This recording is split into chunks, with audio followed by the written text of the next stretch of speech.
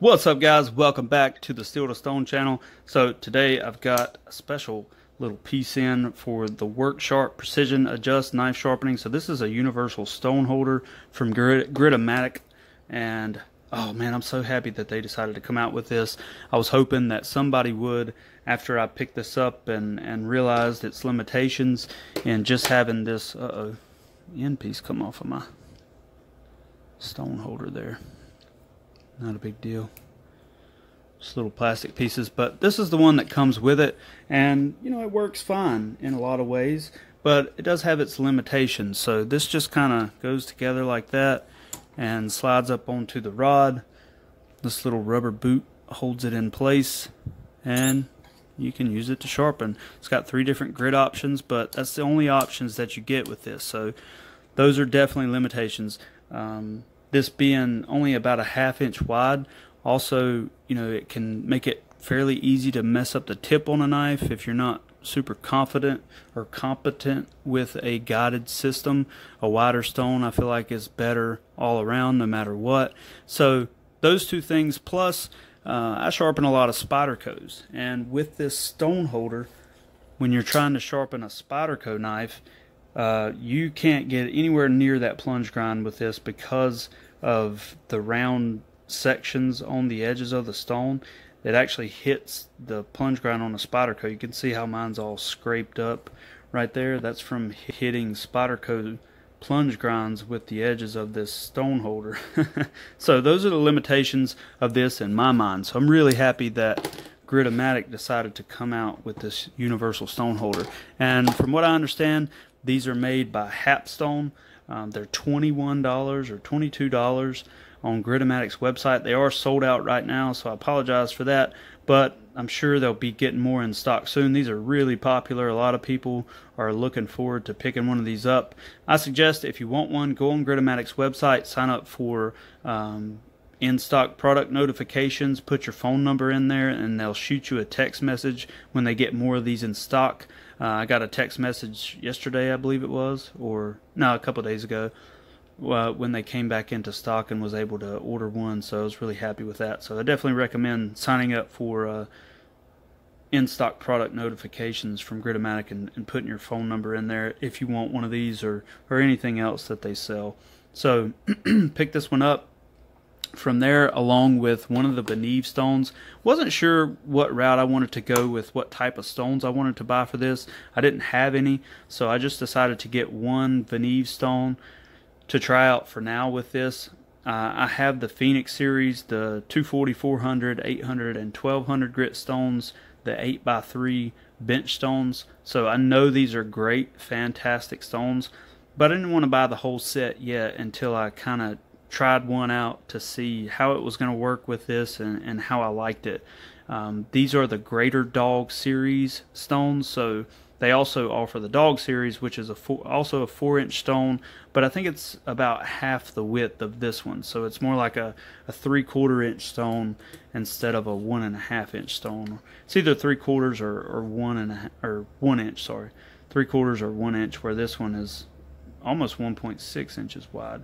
So this is a really wide stone and this will work great for, you know, the KME or this system right here with this universal stone holder with the Ruixin Pro. You could use it with that. Um, lots of different guided systems you could potentially use this with as well as just being a good pocket stone that you could use to sharpen freehand with. If you want a cheap option for a Venev stone, if you really want to try out some of these resin bonded diamond stones, from Gritomatic. Um, you can buy these individually like this. You don't have to buy a set of them. And this one was like 22 bucks. So I definitely recommend trying these out if you guys are interested and you don't really have the money to buy the whole set or you don't have the money to buy, you know, the big 8x3 stones or you're just not sure if you want to purchase them without trying them out first. This is a good option where you could get two different grits of this type of stone for freaking 20 bucks, man. And that's a hell of a deal. So, gonna try this one out and try to sharpen a knife with it real quick. But let's talk about the stone holder real fast. So, this thing looks to be made out of aluminum. it's four different pieces. So you've got your rod here in the back that's made out of aluminum. I assume it feels like aluminum at least. And then you've got your spring. Uh-oh, it's going to roll off the table. So you've got your aluminum rod that's threaded on the end. Got a hole all the way through it so it can go up onto the rod.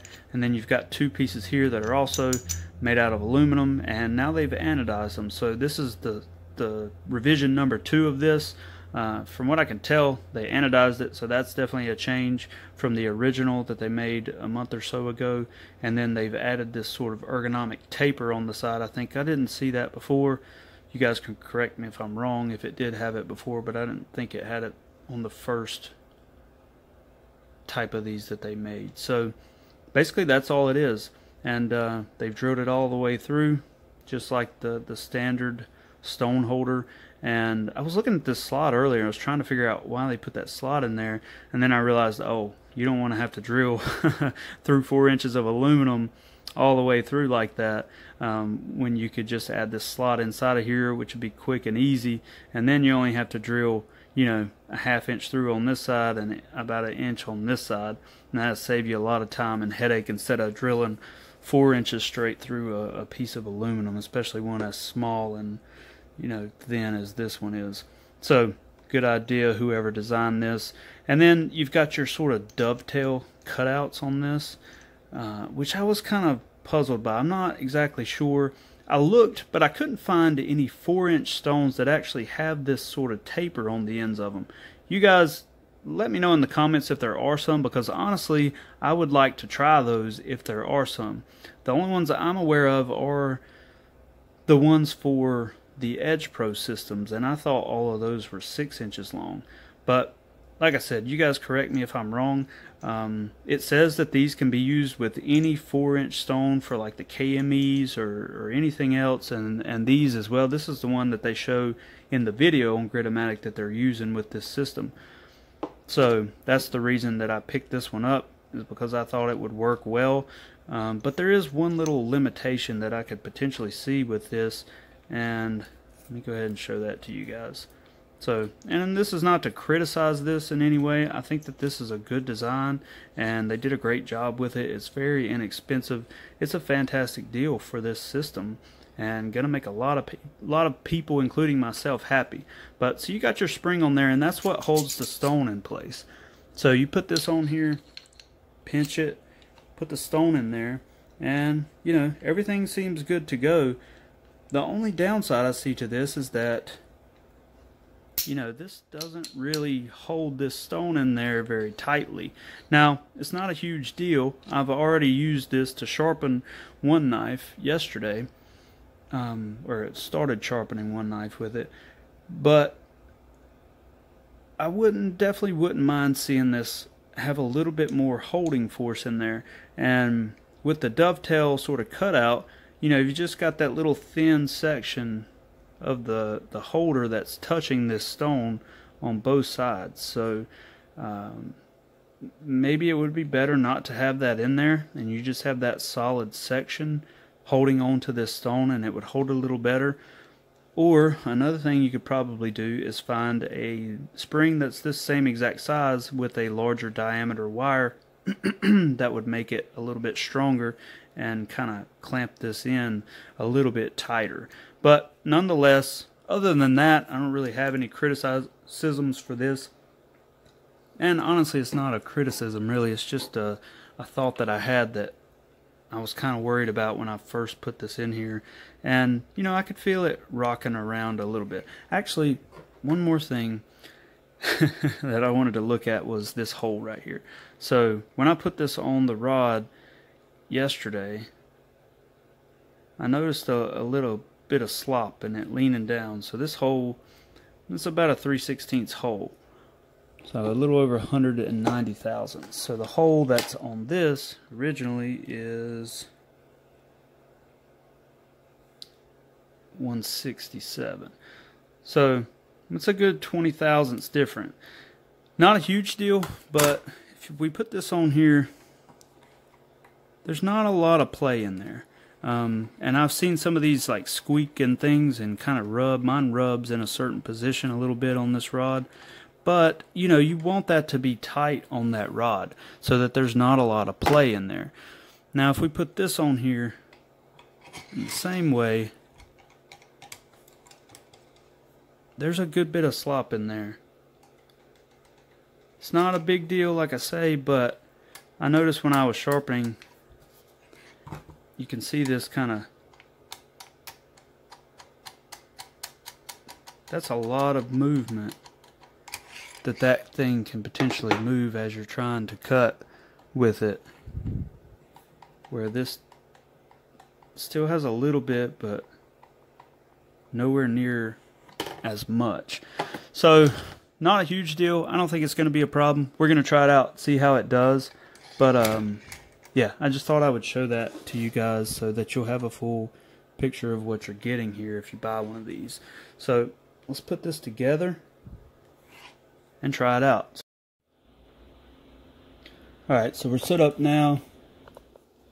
This should be matching because this is the knife I started with with this yesterday. So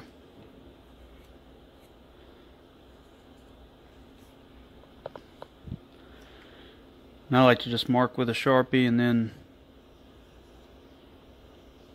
that'll tell us if we're matching pretty quickly without having to struggle to look at it at all.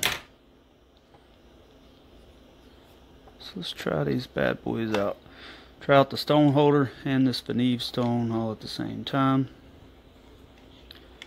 We're going to start on the 150 grit side, F150, and this is at this is at 19 degrees, so this is a little higher than what I normally do, but oh well. I'm just trying this out for now.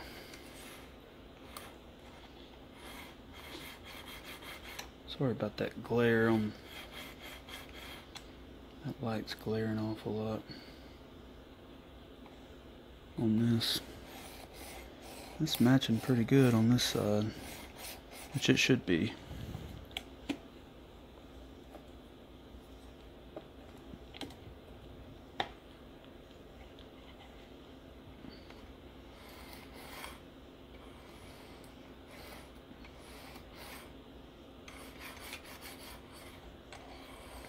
That's close enough. It's a little bit higher on this side, but not by very much.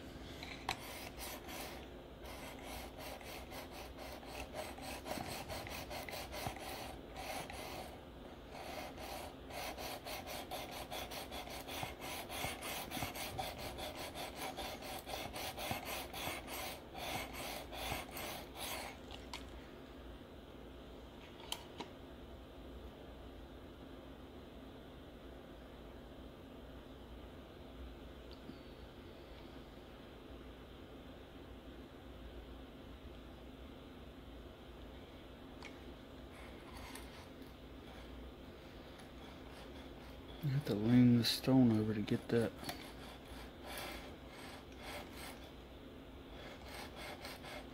Corner in real good.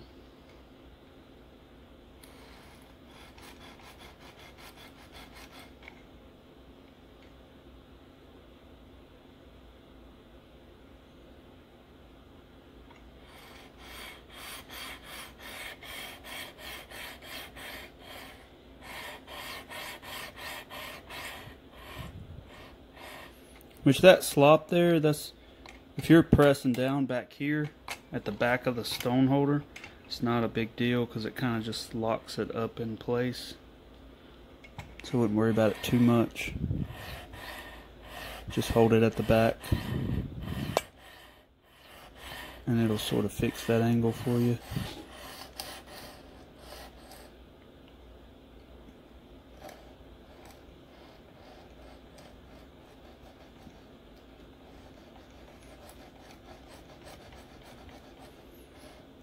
Trying to even out that spot that I messed up.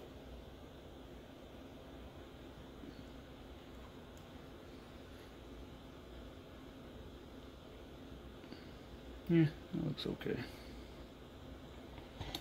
Alright. Looks like we got a burr. Come back to this side. And you can you know you can push the button in the back of this and flip it which is probably the better way to do it.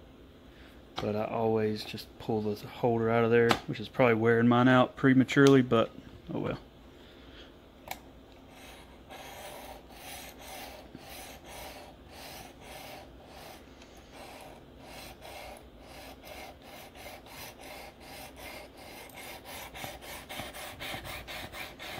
This wider stone makes it a lot better. And this 150 grit Venev definitely cuts a lot faster than the 320 grit diamond that comes with this, especially after it's been used a handful of times. That thing wears down pretty quickly. So I love having this, knowing that it'll probably last me forever. And honestly, most of my edges nowadays I just do a low grit so I could just use this stone probably and and be good to go with this and not ever buy anything else. And that's a little bit different when you're talking about reprofiling and matching different angles but that looks pretty doggone good right there cleaned up all the way across. Let's do a couple light deburring passes. And you can do like stropping strokes.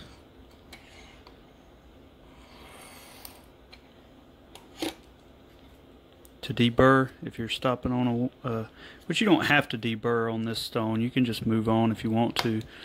But I like to reduce the burr if I can. You can do light stropping strokes or on this you can do like swiping just sort of swipe straight across and that works pretty good too. Uh, that feels good. That feels like the burr came off for the most part. There's still a little bit of one there but it's a lot smaller than it was just with those couple passes And that's what I mean by just swiping across. It kind of peels the burr off without cutting into the apex too much.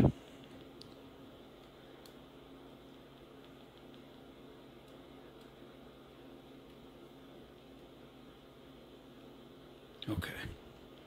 So let's flip over to the 400 grit.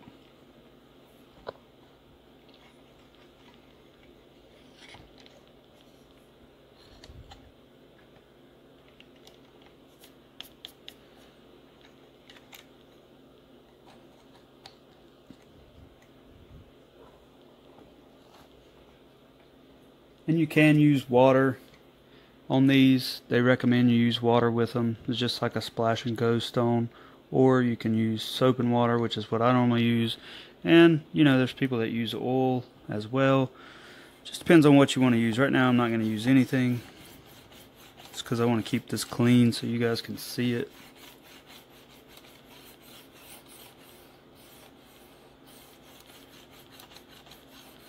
But now that we've got our angle down and burr formed, it's the most important part. We can refine the scratch pattern hopefully pretty easily and quickly.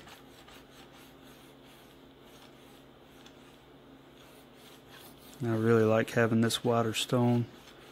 I don't feel like I'm risking falling off the end of the tip as easily with this as I did with the other stone. Because once you get to the end with this one, you know, there's not a whole lot of room there. And you need to go to the middle of the stone so that you actually cut the tip. But it's really easy to fall off the tip and, and damage your tip. Oh, you guys can't even see that. My bad. with this right here. You need to, when you're cutting, go all the way to the center of the stone. So you're actually cutting the tip of the knife. But with this, it's really easy to fall off the end. And with this stone that's, you know, about three times as wide, it's a lot easier to, to not fall off.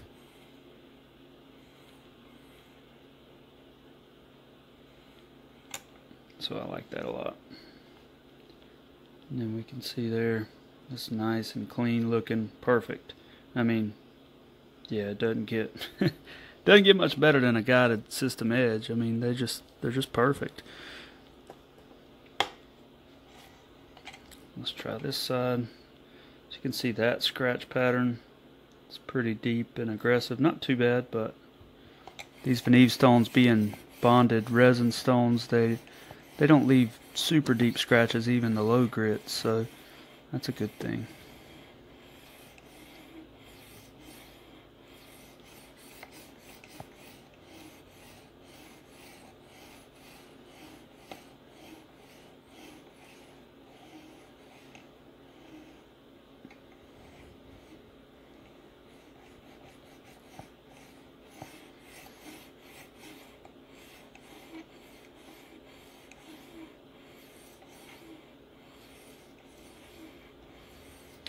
Just use light pressure with these. You want to dig into the stones and this thing being made out of plastic, it has a lot of play in it in different places. So the more, you know, the lighter pressure you can use, the more consistent everything's going to be.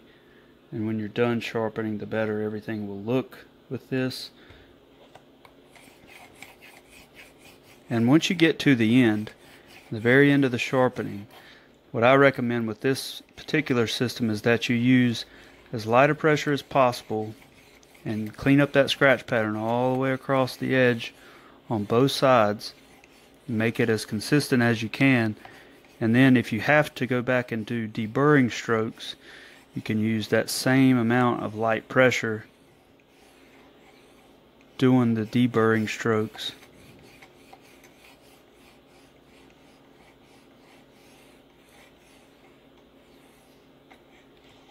and that'll help keep everything looking nice and uniform and you won't have a lot of angle changes from your deburring strokes. Hopefully it'll look nice and consistent. Because I have done it where I've used a little bit of pressure and got done finished apex on a stone and then went to use really light pressure deburring and the angle would slightly change and it would mess up the uh, the aesthetic of the edge, if you will.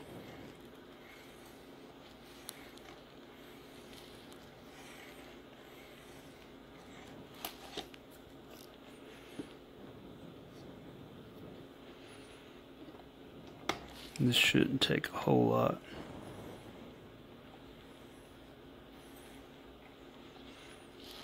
of work.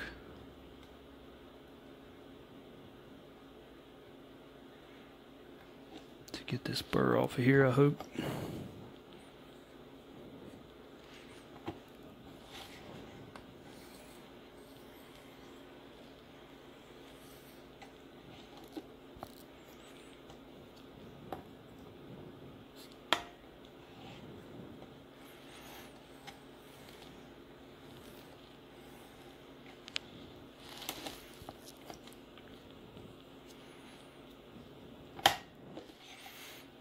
That's about it there.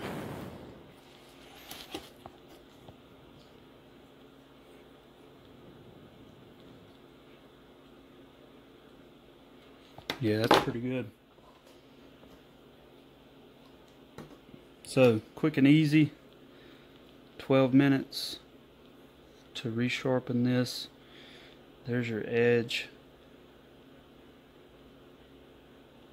Looks about not damn near perfect. Nice hazy finish.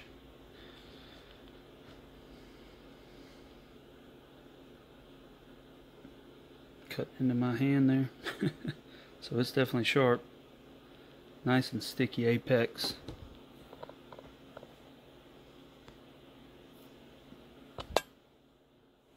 Let's see.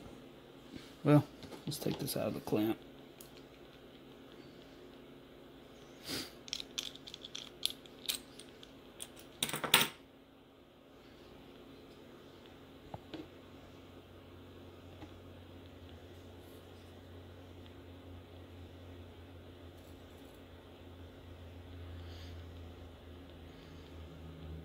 Razor sharp.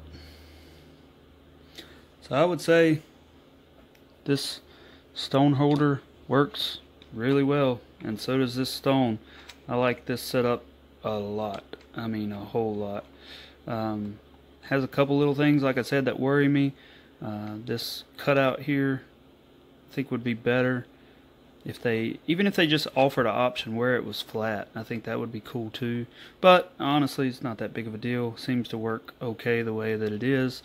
And that little slop, I don't think is going to be too much of an issue either, as long as you use the consistent amount of pressure on the same spot of the stone. If you hold it up here, hold it down. If you hold it back here, lift, make it where it lifts up.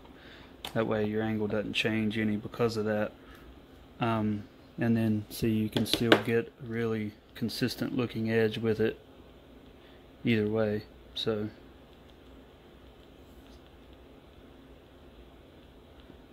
it's pretty good. Not bad, not bad. Good job, Gritomatic and Hapstone. And that's a sticky, sticky edge. Let's see how sharp it really is real quick. Whoa. Moving my camera around. Oh yeah. That's nice. That's with no stropping. So it's pretty fantastic. Anyways, thanks for watching guys. Hope you enjoyed, found all that useful. We'll see you guys next time.